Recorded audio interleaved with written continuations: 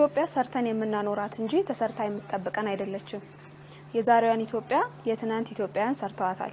የነገዋን ኢትዮጵያ ደግሞ የዛሬ ኢትዮጵያውያን ይሰሯታል። የዛሬዋ ኢትዮጵያ የቀደምት ኢትዮጵያውያን አሻራ ናት። ኢትዮጵያን መስራት የሚችሉት ኢትዮጵያውያን ብቻ ናቸው፣ የሚያውቋት ኢትዮጵያውያን ስለሆኑ።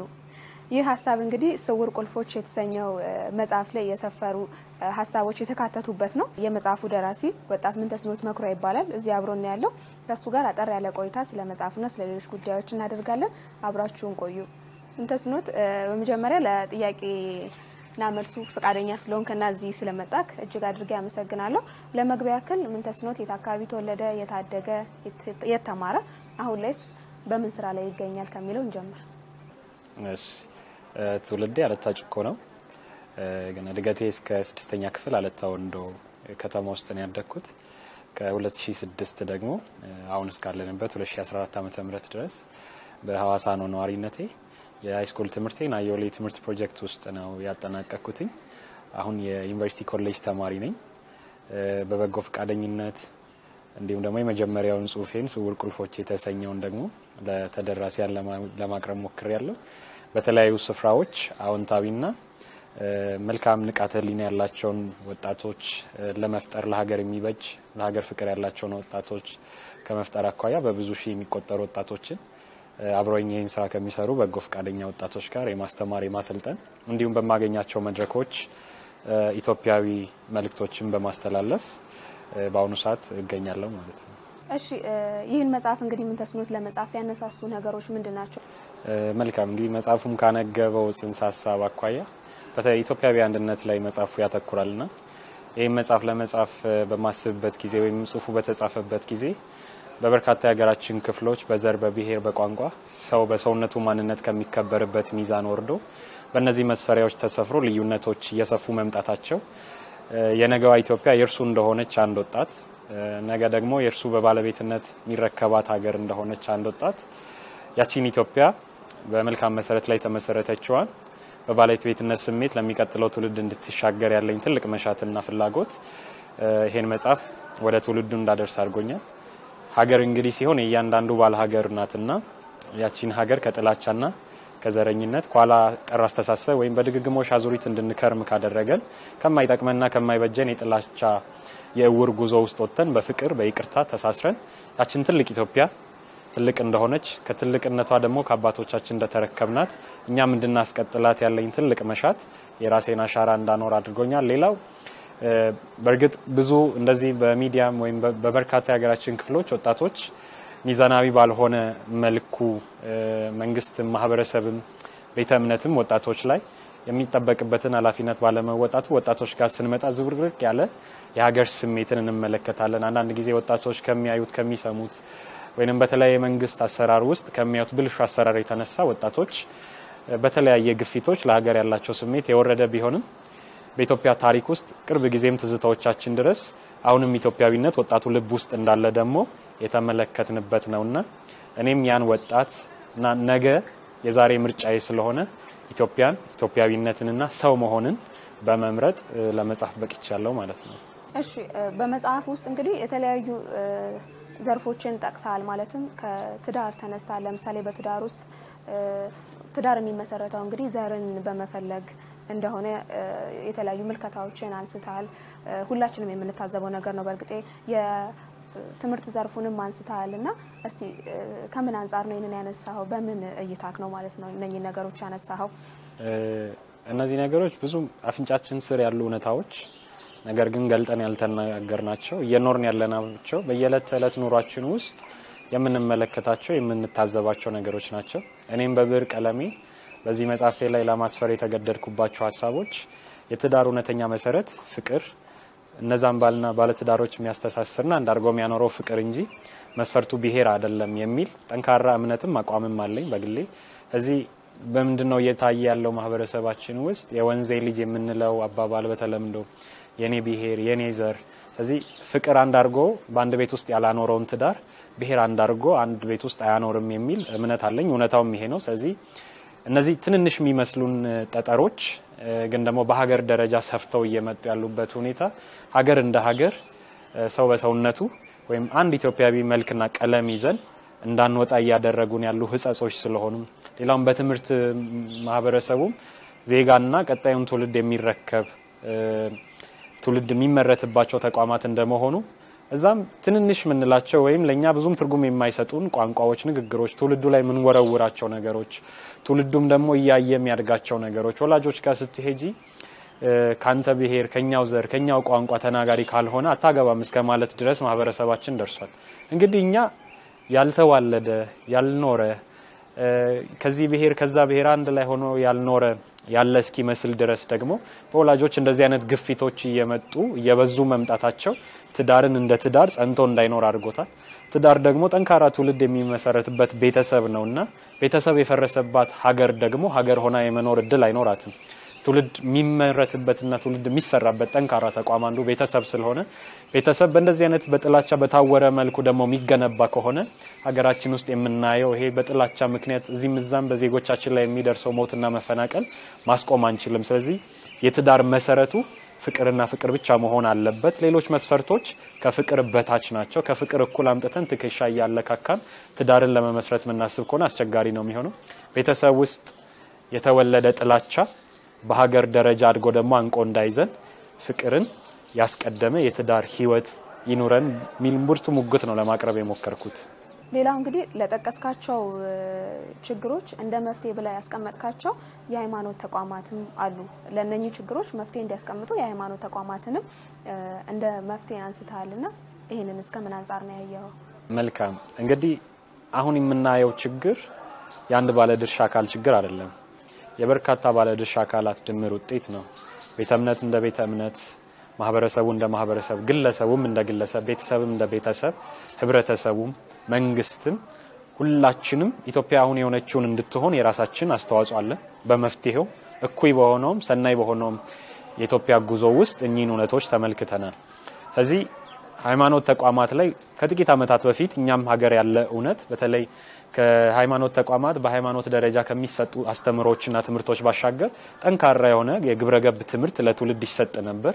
አሁን ለመታዘብ በሞከርኩት መጠን መጽሐፌንም በምጽፍበት ጊዜ ያ ጠንካራ የግብረ ገብ ላይ ያተኮረ ትውልዱ ጠንካራ ግብረ ገብ እንዲኖረው ሀገሩን እንዲወድ ለስራ እንዲበረታ የሚያደርግ አስተምሮ ከቅርብ ጊዜያት ወዲህ እየጠፋ መጥቷል። እንግዲህ ዘጠና ከመቶ በላይ የኢትዮጵያ ሕዝብ ሃይማኖተኛ ከሆነ የሃይማኖት ተቋማት የሚሰሩት ስራ በሀገር ደረጃ ቀጥታ ውጤቱን እንመለከታለን።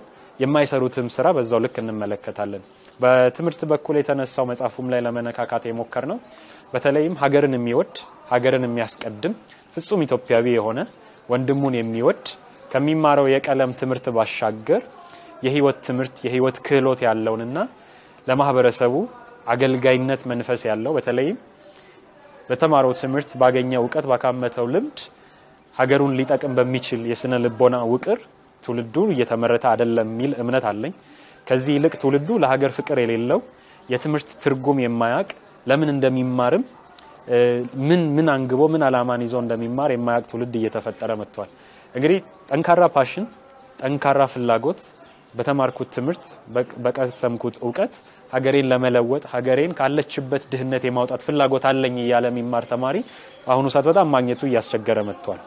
ስለዚህ አንዱ የትምህርት ተቋማት እንደዚህ አይነት ዜጋ በማምረት ረገድ የራሳቸውን ድርሻ መወጣት ቢችሉ፣ ማህበረሰቡ ደግሞ ባለው ጠንካራ እሴትና ወግ ባህል ጎረቤት የኔ ልጅ አይደለም የሚል ስሜት የለንም። ያጠፋን በመልካም ስነ ምግባር የማይጓዝን ወጣት ሲመለከት የማቅናት የማረም የማስተካከልና ጠንካራ እሴቶች ያለው ማህበረሰብ ስለነበረ አሁን ባለንበት ሁኔታ ግን ሸብረክ ብለናል። ወይንም የሳሳ ነገር ስላለ እያየን ያለነው ትውልድ ደግሞ ከማህበረሰቡ እሴትና እምነት በጣም ያፈነገጠ ወጣትና ትውልድ እየተመረተ መጥቷል። ስለዚህ ማህበረሰቡም የመፍትሄው አካል ሆኖ ኢትዮጵያዊነትን፣ ፍቅርን፣ ይቅርታን፣ መተሳሰርና መተሳሰብን የምናውቀውን ኢትዮጵያዊነት በትውልድ ውስጥ የማስረጹን ስራ መስራት ቢችል ሌላው የመፍትሄ አካል ይሆናል። ይህንን የማይሆን ከሆነ ደግሞ ማህበረሰቡ በራሱ ሌላ ክፍተት እያመጣ ነው። እንግዲህ በዘር በቋንቋ በጥላቻ ወንድሙን የሚያፈናቅል ወንድሙን የሚገፋና ለወንድሙ ርኅራሄ የሌለው ወጣት ከመሬት ተነስቶ የመጣ አይደለም። የማህበረሰቡ የቤተ እምነት የቤተሰብ ድምር ውጤት ነው። ይህንን ወጣት እኛውን የፈጠር ነው። ከዚህ በተቃራኒ ደግሞ ሀገሩን የሚወድ ወንድሙን የሚያከብር ሰውን በሰውነቱ ሚዛን ብቻ እየመዘነ በሰው ስብዕና ልክ የተቀረጸ ትውልድ ገንብተን ደግሞ ሰው የመሆንን ዋጋ ከፍ ያደረገ ትውልድ ማምረትም የምንችለው ቤተ እምነት፣ ማህበረሰብ፣ መንግስታዊ አካላት፣ መንግስታዊም ያልሆኑ ባለድርሻ አካላት ትውልድ ላይ ሁላችን ተረባርበን መስራት ከቻልን ትውልድ የነዚህ ነገሮች ስብጥር ድምር ውጤት ነውና የመፍትሄውም አካል ይሆናሉ የሚል እምነት ስላለኝ ነው። ሌላው እንግዲህ ምንተስኖት ከመጽሐፍ ሀሳቦች ወጣ ስንል አንድ የታዘብኩት ነገር መጽሐፍን የገመገሙና ማለትም መጽሐፍን አይተው ግብረ መልስ የሰጡክ ግለሰቦች እንግዲህ የተለያዩ ሃይማኖት ተቋማት መምህራኖች ናቸው። ይህን ሀሳብ እንዴት መጣልክ? ወደ ተለያዩ ሃይማኖት ተቋማት ሄዶ መጽሐፍን ለማሳየትና ግብረ መልስ ለመቀበል ምን አነሳሳክ? እንዴት መጣልህ ሀሳቡ? መልካም እንግዲህ እያንዳንዱ ኢትዮጵያዊ የተለያየ እምነት፣ የተለያየ አስተምሮ፣ የተለያየ ሃይማኖት ተቋም ውስጥ አለ። ግን ለኢትዮጵያ ያለው ልብ ደግሞ አንድ ነው። በሁሉም የሃይማኖት አስተምሮ ውስጥ ደግሞ ሀገርህን ጥላ፣ ወንድምህን ጥላ፣ ወንድምህን በድል የሚል አስተምሮ የሚያስተምር አንድም የእምነት ተቋም ሀገሬ ውስጥ የለም። ቅድም ለመናገር እንደሞከርኩት አብዛኛው የኢትዮጵያ ሕዝብ ደግሞ ወይ ከእስልምናው ወይ ከክርስትናው አብዛኛው በእነዚህ እምነት ጥላዎች ውስጥ ተጠልለው የሚኖር ከሆነ የነዚህ እምነት ተከታዮች መሪዎች፣ የነዚህ ሃይማኖት አስተማሪዎች ደግሞ ስለ ሀገር፣ ስለ አንድነት ምን ይላሉ የሚለውንና እንደ ሀገር ማየት ልብ አለን የሚለውን ይሄስ ጥላቻና መለያየት ከየት ነው የመጣው የሚል ጥያቄ ስለነበረኝ ሙስሊሙም፣ ኦርቶዶክሱም፣ ፕሮቴስታንቱም፣ ካቶሊኩም ስለ ሀገር፣ ስለ ኢትዮጵያና ስለ ትውልድ ምንድን ነው የሚለውን የተቀራረበ ሀሳብና አስተሳሰብ ሀገር ደግሞ ጠንካራ እንድትሆንና እንድትለማ እንድታድግ ከመፈለግ ውጪ የትኛውም ማስተምሮ ጥላቻን አያስተምርም። ከዚህ መጽሐፌ ላይ እነዚህን የተለያየ እምነት ተቋማት መሪዎችን ለመጽሐፌ ሂስ እንዲሰጡ comment እንዲያደርጉ የፈለግኩበት አንዱ ልብ በሃይማኖት ሰበብ ሀገሬ ውስጥ የማየው እልቂት እውነትም ሙስሊም ክርስቲያንን የመጉዳት የመበደል ሀሳብ አለ ወይ? ክርስቲያኑ ስለ ሙስሊሙ እንደዚህ አይነት ልብ አለ ወይ ስቲ በፍጹም የለንም።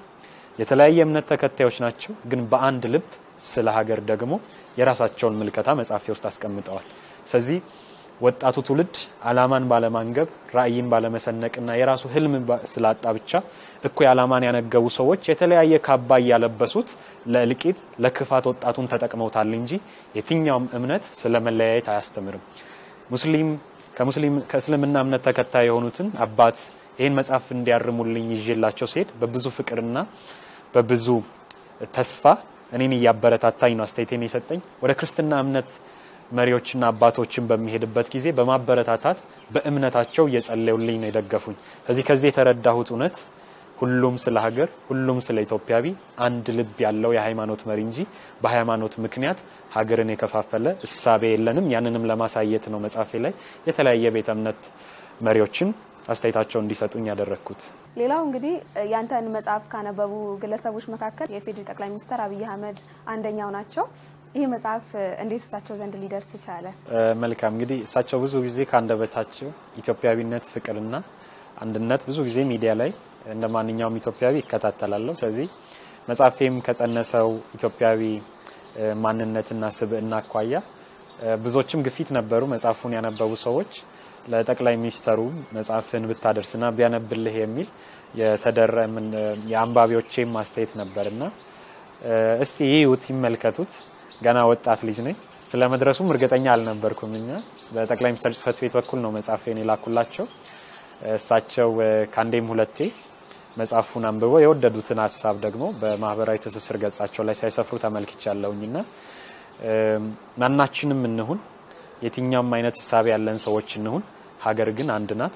ሀገራችን ግን ኢትዮጵያ ናትና እሳቸው ደግሞ ያንን ምላሽ ሲሰጡኝ የበለጠ እንድሰራ ወደፊት እንድቀጥል ቆንጆ inspirational ግፊት ሆነውኛል እና እሳቸው በማንበባቸው እሳቸውም ደግሞ ስላበረታቱኝ በዚሁ አጋጣሚ ደግሞ ምስጋና ይድረሳቸው። ምንተስኖትን እንግዲህ ከዚህ መጽሐፍ እናውጣውና ወይም ከድርሰቱ ውጪ ወይም ደግሞ ደራሲ ከመሆኑ ውጪ እንደ አንድ ወጣት እንደ አንድ ኢትዮጵያዊ ዜጋ ስለ ሀገር ምን ታስባለህ? መልካም እንግዲህ ሰሞኑን ከማስበው ነገር ጋር እንደውም ጥያቄው ጥሩ ሆኖልኛልና ወጣትነት የተተረጎመበት አተረጓጎም ልክ አይደለም በሀገሬ ብዬ ነው ማስበው። ወጣትነት ማለት ህልም አልባ ራዕይ አልባና ዓላማ የሌለው ከንቱ ጉዞ አይደለም። ወይንም ወጣትነት የእድል ህይወትን መምራት አይደለም።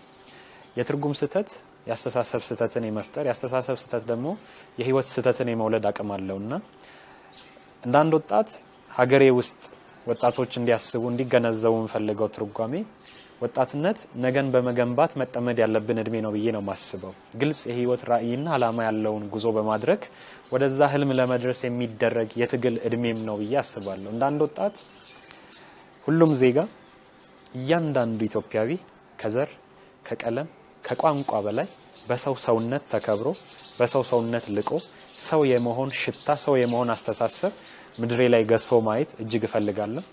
ከዛም ባሻገር ደግሞ ትልቅ ሀገር ያለችን ዜጎች እንደሆንን አንድ ኢትዮጵያዊ በአንድነት ወደፊት የምንራመድ ሆነን ማየት ኢትዮጵያን በዚህ መልኩ ለማየት እሞክራለሁ። በሶስተኛ ደረጃ እያንዳንዱ ዜጋ ለሀገሩ ያለውን መልካም እሳቤ ደግሞ የሚያቀርብበት ሀሳብ በሀሳብነቱ የሚከበርለት ሰው በሰውነቱ ከብሮ በያዘው ሀሳብ የሰው ልጅ የጥይት ራት ማይሆንበት በጣም በሚያሳፍረኝ ሁኔታ ደግሞ ጠላት ከማገደው ጠላት ካጠቃው ጠላት ከነጠቀን በላይ ወንድም ወንድሙ ላይ ሰይፍ መዞ ወንድም ወንድሙ ላይ ጠመንጃ አንግቦ የተላለቅንበት የሚያሳፍረኝ ታሪክ ተምረንበት ታርመንበት በፍቅር ተሳስረን በይቅርታ አንድ ሆነን አንድ ኢትዮጵያዊ አንድ ሰው ማንነት ይዘን ወደፊት ልቀን መሄድ ማየት እንደ አንድ ወጣት እመኛለሁ። ስውር ቁልፎች የተሰኘው መጽሐፍ የመጀመሪያ መጽሐፍክ ነው። እስቲ ወደፊት በተለያዩ ይዘቶች ላይ ለመጽሐፍ ምን አስበሃል?